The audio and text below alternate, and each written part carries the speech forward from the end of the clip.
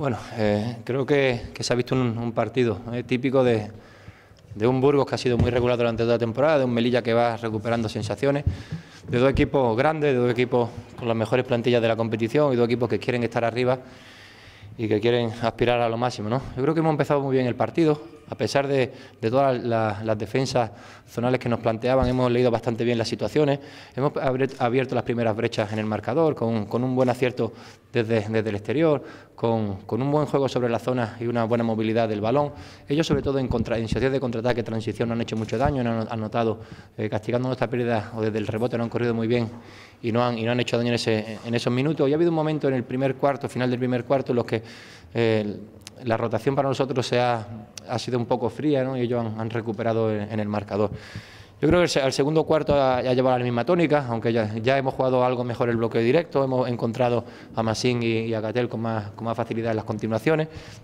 Es verdad que con Oni al poste bajo han hecho un muy buen trabajo de dos contra uno.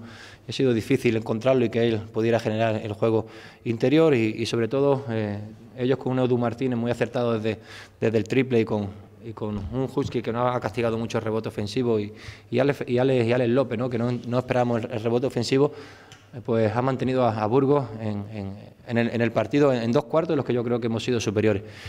Yo creo que podría haber, podría haber habido un punto de inflexión en el tercer cuarto, porque eh, es verdad que ellos han defendido algunas situaciones muy bien, el bloqueo esto no lo han encontrado muy bien en los tres primeros cuartos, y en este, en este cuarto han sido capaces de dejarnos nueve puntos, ¿no? Por su buena defensa, también por nosotros no hemos estado acertados en algunos tiros liberados que hemos, que hemos generado, y ellos en un juego rápido, un juego de transición, nos han sacado muchas ventajas, ¿no? Algunos tiros, algunos, algunos tiros muy liberados, no han castigado muy, bien en este cuarto los, errores defensivos que cometíamos y, no hemos ido con un, con uno, con un punto arriba al final del al, último cuarto. En el último cuarto yo creo que ha habido un, ha habido un protagonista o ha habido una situación en la que, ha marcado el partido. Primero la defensa, ¿no? la defensa que hemos hecho nosotros, que, que aunque no, no, nos han metido más de 18 puntos en cada cuarto, 17, 16, 16, 17.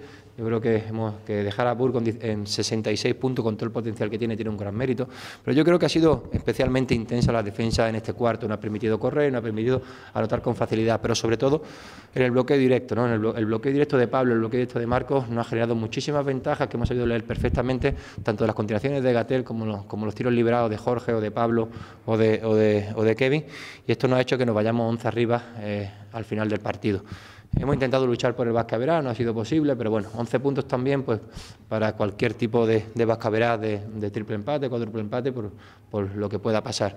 Estoy eh, contento, orgulloso del trabajo que hemos hecho, eh, contento y orgulloso por llevar cinco partidos seguidos y, ver el trabajo que hacen mis jugadores, que cada vez quieren más y, la ambición que tienen en cada partido. Y sobre todo también contento ¿no? por ver el Javier Imbroda, aunque no al 100%, pero sí con una buena entrada, con un público entregado y con un público que ha dado esa fuerza que nos que nos hacía falta en algunos momentos. Gracias a todos por su apoyo, gracias a todos por, por, confiar en este equipo y esperemos que, que, vayamos mejorando la entrada partido a partido. Yo creo que hemos tenido partidos mejores en ataque. Creo que hemos tenido partidos con mucha más circulación, con mucha más acierto y con mucha más, con mucha lectura mucho más eh, fluida. Pero sí que es verdad que hemos estado a un, a un gran nivel, un gran nivel. Yo creo que la clave ha sido la defensa. Eh, dejar a Burgos, te repito, en 66 puntos, la defensa ha sido espectacular. Y no por echarme flores, ni mucho menos por el planteamiento, ni, ni nada de eso, sino por, por la, entrega y el coraje que ponen los jugadores. ¿no? Eh, sinceramente es muy complicado, ¿no? uno contra uno, situaciones de bloque directo, son capaces de llegar, recuperar, estar en otra ayuda, cerrar el rebote. La verdad que la entrega, el sacrificio de los jugadores es espectacular, ¿no? Y eso nos da un plus de, de Sí, eh, bueno, eh, el partido era muy exigente, ellos querían, yo creo que castigarlo corriendo el contraataque, transición muy rápido para que él no pudiera llegar eh, al balance. Y sí que físicamente lleva dos partidos, ¿no? Repareció el, el, partido pasado, lleva dos partidos, bueno, va poco a poco mejorando en, su, en, su, en su rendimiento, sobre todo en el plano físico. Hoy, hoy no ha tenido un partido, no ha sido su mejor partido, pero no ha ayudado en muchas, en muchas facetas del partido. Ya es verdad que Burgos estaba preparado para ir al dos contra uno contra él al poste bajo, incluso en alguna vez iban tres contra uno, pero él no ha anotado, pero ha generado muchas situaciones de, anotación para los demás, que eso también hay que, hay que valorarlo. Yo creo que Kevin lleva una racha de dos tres partidos muy buenos, está ya a un, buen nivel, nos está dando mucha seguridad en ataque y en defensa.